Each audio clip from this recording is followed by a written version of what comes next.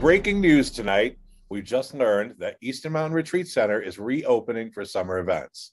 After more than a year of closure during the pandemic, they're now open with a full calendar of events through the season. Let's go live to Rod, who's reporting from Easton Mountain's Great Room. Rod, what's going on there? Freddie, the rumors are true. I can confirm that Easton Mountain is open and ready to welcome back guests this season. Wow, Rod, I'm so excited.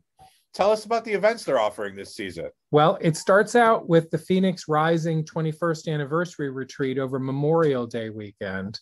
Then in July, there is Gay Freedom Camp and a naturist event called Sunclad. In August, there is a Tantra diploma program, Gay Spirit Camp, and Kink Odyssey.